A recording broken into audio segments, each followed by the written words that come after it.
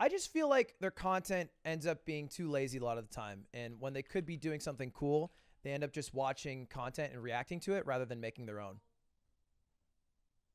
talent. When they could be doing something cool, they end up just watching. No, no, no, no!